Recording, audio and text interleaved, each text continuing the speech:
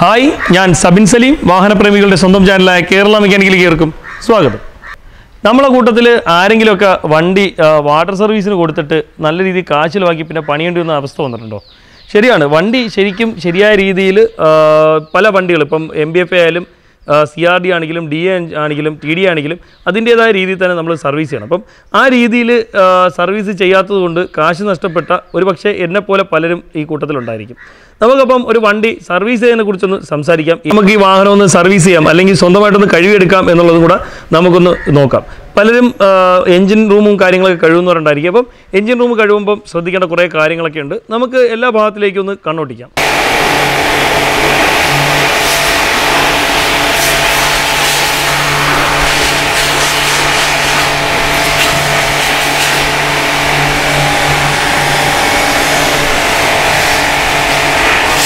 നമ്മളൊരു വാഹനം സർവീസ് ചെയ്യുമ്പം അല്ലെങ്കിൽ നമ്മൾ വീട്ടിലിട്ട് കഴിയുമ്പോൾ ആദ്യം ശ്രദ്ധിക്കേണ്ട കാര്യം വെച്ചാൽ ആദ്യമേ തന്നെ നമ്മൾ വാഷ് ചെയ്ത് തുടങ്ങാനുള്ള സൈഡ് എന്ന് പറഞ്ഞാൽ വാഹനത്തിന്റെ റൂപ്പ് സൈഡാണ്. ഇപ്പം സൈഡൊക്കെ കഴിവതിന് ശേഷം നമ്മൾ റൂപ്പ് കഴിയുകയാണെങ്കിൽ റൂപ്പിലും കാര്യങ്ങളിലുള്ള അഴുക്കെല്ലാം കൂടി നേരെ സൈഡിലോട്ട് ഇറങ്ങും അതുകൊണ്ട് തന്നെ ആദ്യമേ റൂപ്പ് കഴുകിയിട്ട് വേണം പിന്നെ ബാക്കിയുള്ള ഭാഗങ്ങളിലോട്ട് കയറി വരാനായിട്ട്.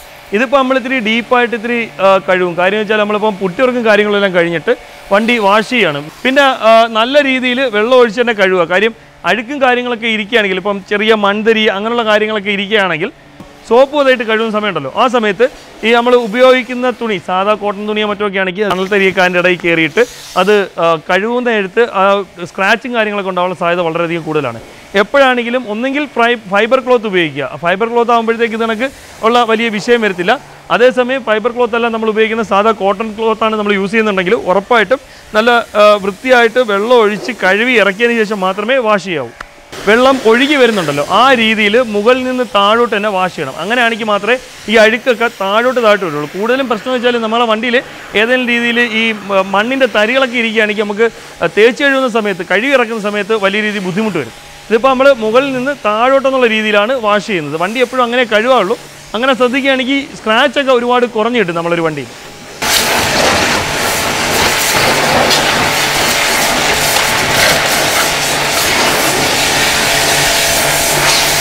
എഞ്ചിനാണ് നമുക്ക് എല്ലാവർക്കും അറിയാവുന്ന കണക്ക് ഒരു ടവേരയുടെ ടി ഡി എഞ്ചിനാണ് ഇത് വരുന്നത്. സാധാരണ രീതിയിലുള്ള എഞ്ചിനാണ് ഇതിൽ പിന്നെ അത്യാവശ്യം കുറച്ച് ഇലക്ട്രിക്കലായിട്ട് കുറച്ച് കാര്യങ്ങളൊക്കെ ചെയ്ത് വെച്ചേക്കുന്നതുകൊണ്ട് നമുക്കിതിന്റെ ഉള്ളിലോട്ട് വെള്ളം ഒഴിക്കുന്ന കാര്യത്തിൽ റിസ്ക് ആണ്. അതേസമയം സാധാ ടി ഡി ഡി എഞ്ചിനൊക്കെ ആണെങ്കിൽ ഒരു വിധമൊക്കെ നമുക്ക് വലിയ പ്രഷറില്ലാതെ ഒരു വിധമൊക്കെ അടിച്ച് വൃത്തിയാക്കിയതിന് ശേഷം നമുക്ക് ഇത്തിരി വെയിലത്തൊക്കെ ഇട്ട് നല്ല രീതിയിൽ വണ്ടി ഡ്രൈ ആക്കി എടുക്കുകയാണെങ്കിൽ കുഴപ്പമില്ല. അതേസമയം M B F I C R D A എഞ്ചിനൊക്കെ ആണെങ്കിൽ അങ്ങനെ ഒരു കാരണവശാലും ചെയ്യരുത്. നമ്മൾ മൊബൈൽ ഫോൺ വെള്ളത്തിലിടുന്നതിന് തുല്യമാണ് M B F I C R D എഞ്ചിനൊക്കെ നമ്മൾ വാട്ടർ സർവീസ് ചെയ്യുന്നത്. അപ്പം അത്യാവശ്യത്തിന് എന്ത് ചെയ്യും എന്ന് ചോദിക്കുകയാണെങ്കിൽ മുൻഭാഗത്തൊക്കെ നമ്മൾ ഇത്തിരി വെള്ളം അടിച്ച കാര്യം വെച്ചാൽ ഏറ്റവും കൂടുതൽ ഓട്ടത്തിൽ ചെളിയോ അല്ലെങ്കിൽ മണ്ണും കാര്യങ്ങളും പൊടിയൊക്കെ നിരന്തരം നിരന്തരം വന്ന് അടിയുന്ന ഭാഗമാണ്. അപ്പം റേഡിയേറ്ററും കണ്ടൻസറിന്റെ ഭാഗമൊക്കെ ഒരിത്തിരി വൃത്തിയാവാൻ വേണ്ടിയാണ് നമ്മൾ ഫ്രണ്ട് ഭാഗത്ത് ചെറുതായിട്ട് ഇങ്ങനെ അടിച്ചു കൊടുത്തത്. അതെല്ലാ വണ്ടിക്കും ആപ്ലിക്കബിൾ അല്ല. നമുക്ക് ചെയ്യാൻ പറ്റുന്നത് വെച്ചാൽ ഏറ്റവും നല്ലത് ഇത് കണക്ക് ഡി ഐ ടി ഡി എഞ്ചിനുകളും അത് കണക്ക് വലിയ രീതി സീനില്ലാത്ത സി ആർ ഡി എഞ്ചിനുകളിലൊക്കെ നമുക്ക് ചെയ്യാം.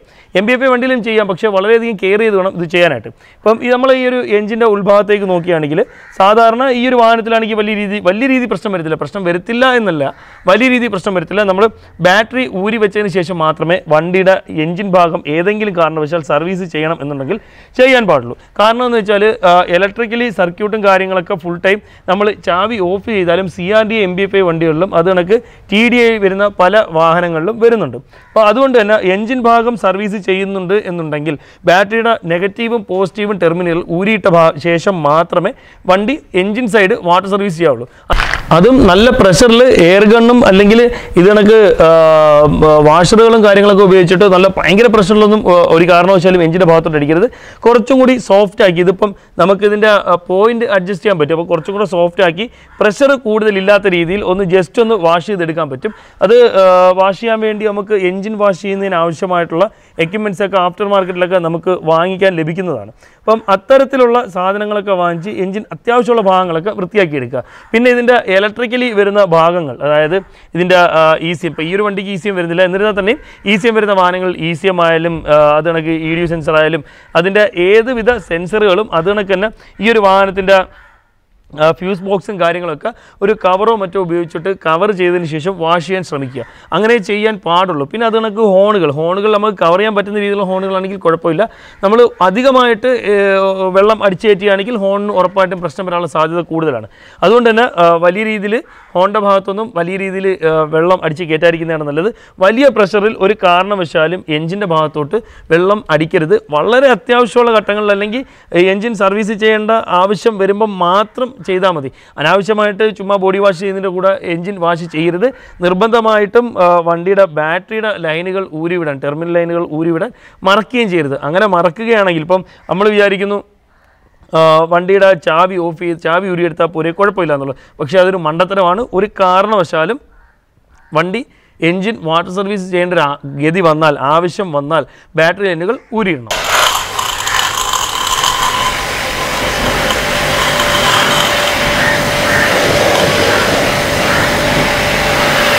എപ്പോഴാണെങ്കിലും വാഷ് ചെയ്യുമ്പോഴും നമ്മൾ വണ്ടി ആ, ഇത് കണക്ക് ഹൈ പ്രഷറിൽ ഏതെങ്കിലും രീതിയിൽ വാഷ് ചെയ്യുമ്പോഴും അല്ലെങ്കിൽ നമ്മൾ സാധാ വീട്ടിയിട്ട് വാഷ് ചെയ്യുമ്പോഴും ശ്രദ്ധിക്കേണ്ട ഒരു കാര്യമാണ്. ഇപ്പം ഈ ഒരു ടവേരെ സംബന്ധിച്ച് അകത്ത് വലിയ രീതിയിൽ ഇലക്ട്രിക്കലി വലിയ പ്രശ്നങ്ങളൊന്നും വരത്തില്ല.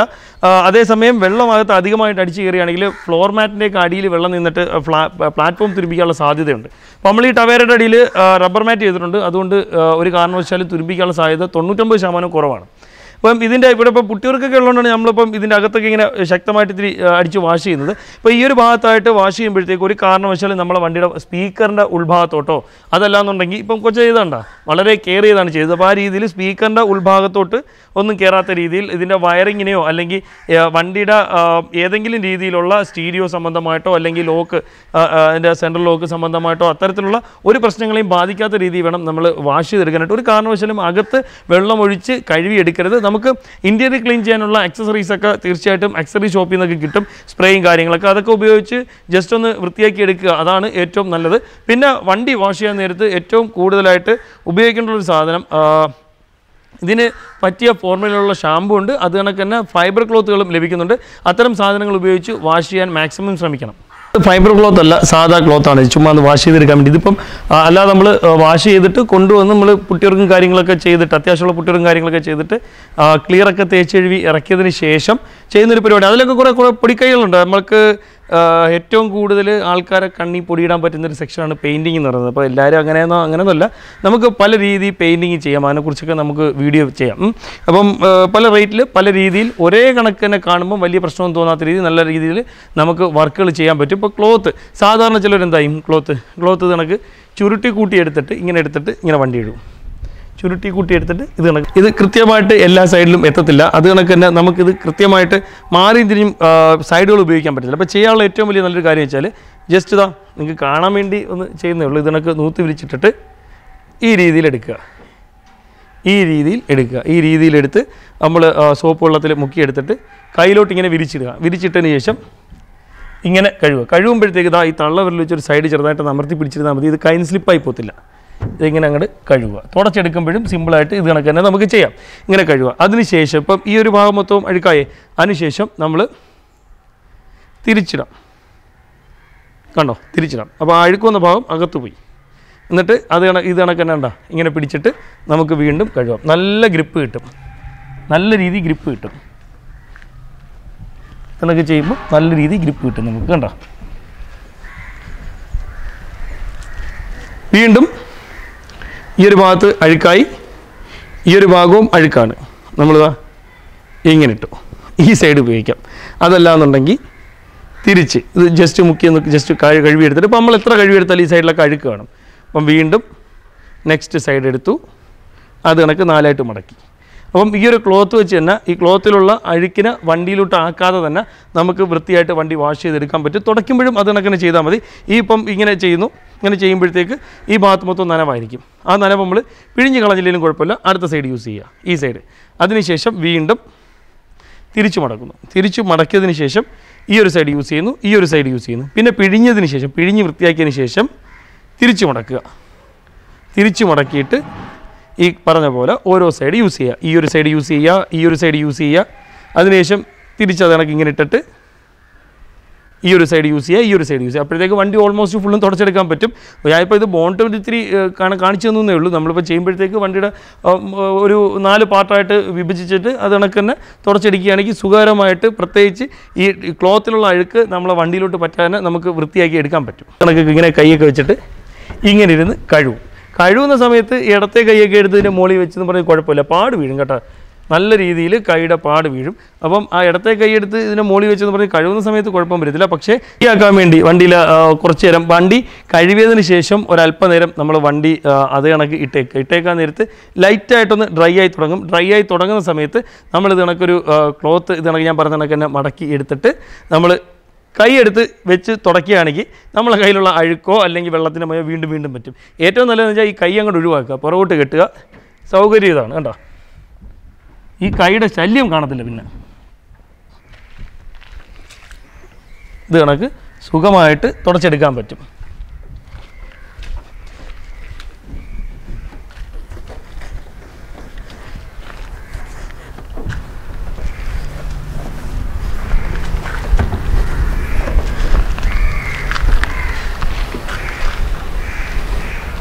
ഇത് കണക്ക് വണ്ടിയുടെ ഫ്രണ്ട് പോർഷൻ ഫുള്ളും തുടച്ചതിന് ശേഷം ഇത് തിരിച്ചിടുക. തിരിച്ചിട്ടിട്ട് നമ്മൾ സൈഡ് പോർഷൻ ഫുള്ളും തുടയ്ക്കുക. നമ്മളെപ്പോഴായാലും വണ്ടി ഇതാണെങ്കിൽ ഡ്രൈ ആക്കുന്നതിന് വേണ്ടി തുടയ്ക്കുമ്പോഴത്തേക്ക് ശ്രദ്ധിക്കേണ്ട ഒരു കാര്യം എന്ന് വെച്ചാൽ ഗ്ലാസ് ആസ് യൂഷ്വൽ നമ്മൾ തുടച്ചതിന് ശേഷം ലാസ്റ്റ് ന്യൂസ് പേപ്പർ വെച്ചെല്ലാം ക്ലീൻ ചെയ്തെടുത്താലും കുഴപ്പമില്ല. ടിഷ്യൂ പേപ്പർ വെച്ചുകൊണ്ടെങ്കിലും ക്ലീൻ ചെയ്തെടുക്കാം. ഈ വണ്ടിയുടെ ഡോറിലൊന്നും വലുതായിട്ട് നമ്മൾ വെള്ളം അടിക്കരുത്. പ്രത്യേകിച്ച് പവർ വിൻഡോ ഒക്കെ ആണെങ്കിൽ അത് ഏറ്റവും വലിയ ബുദ്ധിമുട്ടായിരിക്കും. നമ്മൾ ഇത് കണക്ക് വണ്ടിയുടെ പുറം ഭാഗം ഫുള്ളും മാക്സിമം തുടച്ച് വൃത്തിയാക്കിയതിന് ശേഷം ഇതിന്റെ ഉൾഭാഗം ഉൾഭാഗം എന്ന് പറയുമ്പോൾ ഇത് കണക്കുള്ള ഭാഗങ്ങൾ ഇത് കണക്കുള്ള ഭാഗങ്ങളും ഇതാ ഇത്തരത്തിലുള്ള ഭാഗങ്ങളൊക്കെ പലപ്പോഴും വിട്ടുപോകും. ഇത് കണക്കുള്ള സൈഡൊക്കെ ഇത് കണക്ക് അടിഭാഗം ഉൾപ്പെടെ ചേർത്ത് തുടച്ച് വൃത്തിയാക്കിയെടുക്കാം. അതിന്റെ കൂട്ടത്തിൽ ഇതങ്ങോട്ട് തിരിച്ചിടുക. അപ്പം ഉള്ളു തുടയ്ക്കാൻ വേണ്ടി വേറൊരു ക്ലോത്ത് ഉപയോഗിക്കുന്നതായിരിക്കും നല്ലത്. ഇട്ടിട്ട് ഇതേ കണക്ക് പ്ലാപ്പൊക്കെ തുടച്ച് വൃത്തിയാക്കിയെടുക്കുക. ചുമ്മാ വീട്ടിലിരിക്കാൻ നേരത്ത് ചെയ്യാൻ പറ്റുന്ന ചെറിയ ചെറിയ കേസുകെട്ടുകളേ ഉള്ളൂ. പിന്നെ അത് കണക്കിനെന്താ ഈ ഈ പോസ്റ്റുകളൊക്കെ ഉണ്ടല്ലോ. പോസ്റ്റുകളുടെ സൈഡൊക്കെ ഇത്തിരി ഇത് കണക്ക് കൈയേറ്റി നല്ല രീതിയിലൊന്ന് തുടച്ചെടുക്കണം. ഈ ഭാഗങ്ങളൊക്കെ ഒന്ന് വൃത്തിയായിട്ട് നല്ല രീതിയിൽ തുടച്ചെടുത്ത് അത് കണക്ക് തന്നെ ഈ സൈഡുകൾ. പലപ്പോഴും നമ്മൾ വിട്ടുപോകുന്ന ഭാഗങ്ങളാണ് ഇതൊക്കെ. പുറം ഭാഗത്തെ വൃത്തി മാത്രം പോരല്ലോ നമുക്ക്. ഇത് കണക്കുള്ള ഇടുക്ക് ഭാഗങ്ങളൊക്കെ നമ്മൾ മാക്സിമം വൃത്തിയാക്കാൻ ശ്രമിക്കണം. ഇത് അവിടുത്തെ മെയിൻ മുഖ്യ പെയിന്ററാണ് ഇപ്പം കൊച്ചാപ്പാണ് വാപ്പാട് അനിയനാണ്. അപ്പോൾ പുള്ളിക്കാരൻ ഇതിന്റെ ഞാൻ എന്റെ വണ്ടിയിട്ട് വാഷ് ചെയ്യാൻ വീഡിയോ എടുക്കാൻ വേണ്ടി ഇരുന്നപ്പോഴത്തേക്ക് പുള്ളിക്കാരൻ ഇത് വാഷ് ചെയ്യണമെന്ന് പറഞ്ഞ് നമ്മളെ പ്രഷർ പമ്പ് സാധനമൊക്കെ എടുത്തു. അപ്പോൾ ഞാൻ പറയും കൊച്ചാ ഇതിനൊക്കെ ഒരു വീഡിയോ ആണെന്ന് ഇപ്പം പെയിന്റിങ്ങിലൊക്കെ കുറേ കാര്യങ്ങളുണ്ടല്ലോ വെച്ചാൽ ഫുൾ പെയിന്റ് എന്നും പറഞ്ഞ് കൂടുതൽ പൈസ വാങ്ങുന്ന ആൾക്കാരുണ്ട്. ഞാൻ അങ്ങനെ ആരെയും പ്രത്യേകിച്ച് നമ്മൾ എന്തൊരു പറയുന്നില്ല അങ്ങനെ പറയല്ല. പെയിന്റിങ്ങിൽ മെക്കാനിക്കിനെ കണക്കുമല്ല. ഏറ്റവും കൂടുതൽ ഉടായ്പ് കാണിക്കാൻ പറ്റുന്നൊരു സാഹചര്യമോ ഉടാ പെയിന്റിങ് എന്ന് പറയുന്നത് കാര്യം ഒരു ആറ് മാസം ഏഴ് മാസത്തേക്ക് ഭയങ്കര തിളക്കം നിൽക്കും. അത് കഴിയുമ്പം പോവും. നമ്മൾ എടുക്കുന്ന മെറ്റീരിയൽ അത് കണക്ക് ഇതിന്റെയൊക്കെ ഉള്ളിൽ ഉപയോഗിക്കുന്ന സംഭവങ്ങളൊക്കെ ഉണ്ടല്ലോ. അതൊക്കെ അങ്ങനെ കുറേ കുറേ കുറേ സംഭവങ്ങളുണ്ട്. നമുക്ക് മനസ്സിലാക്കാത്ത അല്ലേ? അല്ലെങ്കിൽ നമ്മൾ മനസ്സിലാക്കാനുള്ള സംഭവങ്ങളുണ്ട്. അപ്പം ചിലയിടത്തൊക്കെ ചെല്ലുമ്പോഴത്തേക്ക് റേറ്റ് കൂടുതലെന്ന് പറയും. ചിലയിടത്ത് ചെല്ലുമ്പോൾ റേറ്റ് കുറവെന്ന് പറയും. അപ്പം നല്ല സാധനം എടുത്ത് ചെയ്യുമ്പോഴത്തേക്ക് എന്തായാലും റേറ്റ് കൂടുതലായിരിക്കും. അത്യാവശ്യം നല്ല പൈസയാവും പൈസ. അപ്പം നമ്മൾ കൂടുതൽ ഉപയോഗിക്കുന്നത് വെച്ചാൽ വണ്ടിയുടെ ഉടമസ്ഥന്റെ സാമ്പത്തികം അനുസരിച്ച് അവരോട് കാര്യം പറഞ്ഞിട്ട് നമ്മൾ വർക്ക് എടുക്കും. ഇതെന്ന് വെച്ചാൽ ഫുള്ളും ടച്ചപ്പ് ചെയ്തിട്ട് ഇത് വലിയ ടച്ചപ്പ് ഒന്നുമില്ല അത്യാവശ്യം കുറച്ചുണ്ടല്ലേ? അത്യാവശ്യം കുറച്ച്. അപ്പം ടച്ചപ്പ് ചെയ്തിട്ട് ഇത് ഫുള്ളും നമ്മളെ ജോസ് അച്ചായന്റെ വണ്ടിയാണിത്. ഇപ്പം വന്ന് കയറിയിട്ട് തന്നെ ഇപ്പോൾ ഏകദേശം നാല് മാസമായി. അല്ലേ നാല് മാസമായി. ലോക്ക്ഡൗണും ആകെ പ്രശ്നങ്ങളൊക്കെ ആയിട്ട് നാല് മാസം. ഫുൾ റീസ്റ്റോറേഷൻ ആയിരുന്നു. സാധാരണ നിങ്ങൾ വിചാരിക്കുന്ന കണക്ക് അത്ര ഭയങ്കര എമൗണ്ട് ഒന്നും ഇല്ലാതെ നമ്മൾ ചെറിയൊരു രീതിയിൽ ഇതൊരു പരസ്യമോ അങ്ങനെയൊന്നുമല്ല. ഞാൻ പൊതുവേ ഉള്ളൊരു കാര്യം നിങ്ങളെ പറഞ്ഞ് മനസ്സിലാക്കുന്നേ ഉള്ളൂ. നമ്മളിപ്പം ഇതൊക്കെ ഇപ്പോൾ ടച്ചപ്പ് ചെയ്ത് ഇത് കണക്കുള്ള ഭാഗങ്ങളൊക്കെ അത്യാവശ്യം ഈ ചൊള്ളി നിൽക്കുന്ന അങ്ങനെയുള്ള ഭാഗങ്ങളൊക്കെ നമ്മൾ ഫുള്ളും ടച്ചപ്പ് ചെയ്തിട്ട് ഫുള്ള് പ്രൈമർ അടിക്കും. വണ്ടി ഫുള്ളും പ്രൈമർ അടിക്കത്തില്ല. ഈ പോയ ഭാഗങ്ങളെല്ലാം പ്രൈമർ അടിച്ചിട്ട് അങ്ങനെ ഇതിന്റെ ഇതെല്ലാം കഴിഞ്ഞിട്ട് ഞാൻ ചെറിയൊരു കമ്മ്യൂണിറ്റി പോസ്റ്റ് ഇട്ടേക്കാം അതിന്റെ ഫോട്ടോ അപ്പോൾ നിങ്ങൾക്ക് മനസ്സിലാവും. ഇതെന്ന് വെച്ചാൽ നമ്മൾ ഫുൾ പെയിന്റിംഗ് എന്ന് പറഞ്ഞു പോകണമെങ്കിൽ ഈ വർക്ക് പിടിച്ചിട്ട് ഇത് കണക്ക് ഫുള്ളും ടച്ച് ചെയ്ത് ക്ലിയർ അടിച്ച് ഫുൾ പെയിന്റിംഗ് എന്ന് പറഞ്ഞ് നല്ലൊരു എമൗണ്ട് വാങ്ങാം. സുഖമായിട്ട് വാങ്ങാം. അപ്പോൾ കസ്റ്റമർ പോലും അറിയത്തില്ലല്ലോ. നമുക്ക് സാമ്പത്തികപരമായിട്ട് നല്ലൊരു ലാഭം കിട്ടും. പക്ഷേ അന്ന് അങ്ങനെ ചെയ്തിട്ട് കാര്യമില്ല. അത് പെട്ടെന്ന് മനസ്സിലാക്കാനും പറ്റത്തില്ല. കാര്യം അങ്ങനെയാണ്. ഇതിപ്പോൾ ഇതിപ്പം ഫുള്ളും ഇതിന്റെ ക്ലിയറിന്റെ കോട്ടിങ്ങിൽ വെച്ചോ ക്ലിയറിന്റെ കോട്ടിങ് ഫുള്ളും തേച്ച് ഇറക്കി എല്ലാം വൃത്തിയാക്കിയിട്ട് പോയ ഭാഗങ്ങൾ ഫുള്ളും ടച്ചപ്പ് ചെയ്തതിന് ശേഷം നമ്മൾ ഇത് ഫുള്ളും ടച്ചപ്പ് ചെയ്ത് ഫുള്ളും ക്ലിയർ അടിക്കും. ക്ലിയർ അടിക്കുന്ന അത്യാവശ്യം ക്വാളിറ്റിയുള്ള കൂടിയ ക്ലിയർ ആണ് അടിക്കുന്നത്. നമ്മൾ ചെയ്യുന്ന വർക്ക് നമ്മൾ ഏകദേശം ഒരു ഒരു വർഷമെങ്കിലും മിനിമം ഗ്യാരണ്ടി കൊടുക്കും ഇല്ലേ? ഒരു വർഷമെങ്കിലും. ഇതണക്ക് ചെയ്യും ഇതണക്ക് കാശലവാക്കി ചെയ്യുകയാണെങ്കിൽ ഇതണക്ക് നല്ല സാധനങ്ങൾ എടുത്ത് ചെയ്യാൻ അനുവദിക്കുകയാണെങ്കിൽ അതല്ല പല ക്വാളിറ്റി നമുക്ക് ചെയ്യാം. നമ്മളെ സാമ്പത്തികം അനുസരിച്ച് ഇപ്പോൾ എന്റെ ഒരു എന്റെ ഒരു ഉദ്ദേശം പറയുകയാണെങ്കിൽ ഒരു ഓൾട്ടോ വേണമെങ്കിൽ നമുക്കൊരു ഏഴായിരം രൂപ മുതൽ ഒരു ഇരുപത്തയ്യായിരം രൂപ രീതിയിൽ വരെ അതെ ഇരുപത്തയ്യായിരം രൂപയുടെ ഇരുപത്തയ്യായിരം അതിന്റെ മുകളിലോട്ട് പോകാം എന്നാലും ഒരു ഇരുപത്തയ്യായിരം രൂപ വരെയൊക്കെ നിൽക്കുന്ന രീതി നമുക്ക് ഏഴായിരം രൂപ മുതൽ ഇരുപത്തയ്യായിരം രൂപ ഫുൾ പെയിന്റ് അല്ലേ വെച്ചാൽ അപ്പം അത് കണക്ക് ക്വാളിറ്റിയിൽ വ്യത്യാസവും കാര്യങ്ങളൊക്കെ വരും. പിന്നെ കൂടുതൽ പൈസ വാങ്ങിച്ചിട്ട് കുറഞ്ഞ സാധനം ഇട്ട് ചെയ്തിട്ടും കാര്യമില്ല. ഇതിലേക്ക് ചെയ്യുന്ന സാധനം നമുക്ക് പിന്നെ റീപോളിഷ് ചെയ്യാൻ പറ്റത്തില്ല. ആ പോളിഷിങ്ങും കാര്യങ്ങളും ചെയ്യാൻ പറ്റത്തില്ല. കോട്ടിങ്ങിന്റെ കാര്യത്തിൽ കുറവായിരിക്കും. ഇതിപ്പം മൂന്ന് കോട്ട് നമ്മൾ ക്ലിയർ എന്തായാലും അടിക്കും. പക്ഷേ പി യു പെയിന്റ് ആകുമ്പോഴത്തേക്ക് ഇങ്ങനെ ആയിരിക്കത്തില്ല അല്ലേ? പി യു പെയിന്റ് ആകുമ്പോഴത്തേക്ക് വേറെ രീതിയിലായിരിക്കും. പി യു പെയിന്റിൽ ടച്ചപ്പും കാര്യങ്ങളും ചെയ്ത് നമുക്ക് ക്ലിയർ അടിക്കാൻ പറ്റത്തില്ല. പി യു പെയിന്റ് ആകുമ്പോഴത്തേക്ക് ടച്ചപ്പും കാര്യങ്ങളും ചെയ്യുന്നതൊക്കെ അറിയാൻ പറ്റും. അപ്പം ആ രീതിയിൽ ഇത്തിരി അഗ്രഗണ്യനായിരിക്കണം പെയിന്റിങ്ങിൽ എന്തായാലും പെയിന്റിങ്ങിന്റെ വീഡിയോസൊക്കെ നമുക്ക് താമസിച്ചിടാം അല്ലേ വെച്ചോ പെയിന്റിങ്ങിനുള്ള പരിപാടിയിലാണ്. അപ്പം ജസ്റ്റ് കഴുകി ഇറക്കുക എന്നുള്ളത് മാത്രമേ ഉള്ളൂ അതിന്റെ കൂട്ടത്തിൽ നിങ്ങൾക്ക് ഈ കാര്യങ്ങൾ കൊണ്ടൊന്ന് പറഞ്ഞുതരാമെന്ന് വിചാരിച്ചു. ക്ലോത്ത് ഉപയോഗിക്കുമ്പം ഈ പറഞ്ഞ പോലെ ശ്രദ്ധിക്കുക. അത് കണക്ക് തന്നെ നാല് മടക്കാക്കി ഇട്ടിട്ട് ആ രീതിയിൽ തന്നെ കൈകാര്യം ചെയ്യാൻ ശ്രമിക്കുക. കൂടുതലും ഫൈബർ ക്ലോത്ത് ഉപയോഗിക്കാൻ ശ്രമിക്കുക. അത് കണക്ക് തന്നെ വണ്ടിയുടെ ഇന്റീരിയറിലൊന്നും വലുതായിട്ടൊന്നും വെള്ളം അടിച്ച് കയറ്റരുത്. മാക്സിമം ഫൈബർ ക്ലോത്ത് നനച്ച് തുടച്ചെടുക്കാൻ ശ്രമിക്കുക. അത് കണക്ക് തന്നെ ജെല്ലുകളും കാര്യങ്ങളൊക്കെ ഈ ഇന്റീരിയറിന്റെ ഭാഗമൊക്കെ ക്ലീൻ ചെയ്യാൻ വേണ്ടി ലഭിക്കുന്നുണ്ട്. ബാറ്റ് ലൈൻ ഊരിയിട്ടിട്ട് മാത്രം വളരെ അത്യാവശ്യം ഒരു ഘട്ടത്തിൽ എഞ്ചിൻ വാട്ടർ സർവീസ് ചെയ്യണം എന്നുണ്ടെങ്കിൽ എഞ്ചിൻ സർവീസ് ചെയ്യണ്ട എന്ന് ഞാൻ പറയുന്നില്ല. എഞ്ചിൻ വാട്ടർ സർവീസ് ചെയ്യണം. വളരെ അത്യാവശ്യ ഘട്ടത്തിൽ ചെയ്യണം എന്നുണ്ടെങ്കിൽ ബാറ്ററി ലൈനൊക്കെ ഊരി വാഷ് ചെയ്ത് വണ്ടി തെള്ളി വെയിലത്തോട്ടൊക്കെ ഇട്ട് ബോണറ്റൊക്കെ പൊക്കി വെച്ച് നല്ല രീതിയിൽ ഡ്രൈ ആക്കി ഒന്നോ രണ്ടോ മൂന്നോ ഒരാഴ്ചയെങ്കിലും ഇട്ട് നല്ല രീതിയിൽ ഡ്രൈ ആക്കിയതിന് ശേഷം മാത്രമേ ബാറ്ററി ലൈൻ കൊടുക്കാവുള്ളൂ. അതിന് മുമ്പ് ബാറ്ററി ലൈൻ കുടിക്കുകയാണെങ്കിൽ ഷോർട്ട് ആവാനും നമ്മളെ വണ്ടിയുടെ ഇ സി എമ്മോ അല്ലെങ്കിൽ ഇലക്ട്രിക്കൽ ഭാഗങ്ങളൊക്കെ കേടാവാനുള്ള സാധ്യതയുണ്ട്. M B F I C R D എഞ്ചിനുകൾ അനാവശ്യമായി കൊണ്ടുപോയി വാട്ടർ സർവീസും കാര്യങ്ങളും ചെയ്യരുത്. നിങ്ങൾ നിങ്ങളെ വണ്ടികൾ മാക്സിമം ശ്രദ്ധിക്കുക. അത് കണക്ക് തന്നെ തുടയ്ക്കുമ്പോഴത്തേക്ക് ഞാൻ നേരത്തെ കാണിച്ചു തന്ന രീതിയിൽ തന്നെ തുടയ്ക്കാൻ ശ്രമിക്കുക. അത് കണക്ക് നമ്മൾ വണ്ടിയുടെ വണ്ടി ഡ്രൈ ചെയ്യാൻ വേണ്ടി തുടയ്ക്കുന്ന സമയത്ത് വണ്ടിയുടെ ഡോറ് തുറന്നിട്ട് ഇന്നർ ഭാഗങ്ങളൊക്കെ വൃത്തിയാക്കാൻ ശ്രമിക്കുക. മാക്സിമം ആ ഒരു ഭാഗത്തേക്കുള്ള ചെളിയും അഴുക്കൊക്കെ മാറാനും അത് കണക്ക് തന്നെ ആ ഒരു ഭാഗത്തൊക്കെ ചെറിയ രീതിയിലൊക്കെ ഇരുന്ന് തുരുമ്പിക്കാനുള്ളൊക്കെ സാധ്യത കുറയും. അത് കണക്ക് തന്നെ പ്രധാനപ്പെട്ട വേറൊരു കാര്യമാണ് നമ്മൾ ഇത് ഇതിന്റെ അകത്ത് ഇത് കണക്കുള്ള ചെറിയ ചെറിയ ഹോളുകൾ കാണും. ഡോറിന്റെ അടിഭാഗത്ത്. അതായത് ഏതെങ്കിലും രീതിയിൽ ഡോറിന്റെ അകത്തൂടെയൊക്കെ അല്ലെങ്കിൽ വെതർ സ്ട്രിപ്പിന്റെ ഭാഗത്തൂടെയൊക്കെ വരുന്ന ഒരു വെള്ളവും കാര്യങ്ങളൊക്കെ ഇവിടെ വന്ന് തങ്ങി നിൽക്കും. ആ വെള്ളം കുത്തിക്കളയാൻ വേണ്ടിയാണ്. അപ്പോൾ ഇതൊക്കെ ചെറുതായിട്ട് തുരുമ്പിന്റെ അംശങ്ങളും കാര്യങ്ങളൊക്കെ കയറി അടയും. അപ്പോൾ നമ്മൾ ചെയ്യേണ്ട കാര്യം വെച്ചാൽ ഇത് കണക്ക് കുത്തിക്കളഞ്ഞ് വൃത്തിയാക്കിയിട്ട് വാഷ് ചെയ്യുന്നതിന്റെ കൂട്ടത്തിൽ തന്നെ നിർബന്ധമായിട്ട് ചെയ്യണം. നമ്മൾ വാട്ടർ സർവീസ് ചെയ്യുന്നവരോടും അത് പറയണം. അപ്പോൾ ഇന്നത്തെ ഈ ഒരു വണ്ടി സർവീസ് ചെയ്യാനുള്ള അല്ലെങ്കിൽ വണ്ടി കഴുകുമ്പോൾ നമ്മൾ സൂക്ഷിക്കേണ്ട കുറച്ച് കാര്യങ്ങളൊക്കെ വളരെ കുറച്ച് കാര്യങ്ങൾ മാത്രമേ പറഞ്ഞിട്ടുള്ളൂ. ഇനി കുറേ കാര്യങ്ങളുണ്ട്. നമുക്ക് ഇനി വരും രീതിയിലൊക്കെ നമുക്കത് കൈകാര്യം ചെയ്യാം. നമുക്ക് ഇനിയിപ്പം കൂടുതൽ കൊച്ചാട വർക്കും കാര്യങ്ങളൊക്കെ പെൻഡിങ് ആവും. അപ്പം ഇന്നത്തെ വീഡിയോ നിങ്ങൾക്കെല്ലാം പ്രയോജനപ്പെട്ടു എന്ന് വിശ്വസിക്കുന്നു. നിങ്ങൾക്ക് പ്രയോജനപ്പെടുന്ന മറ്റൊരു വീഡിയോ ആയിട്ട് വരുന്നവരെ ബൈ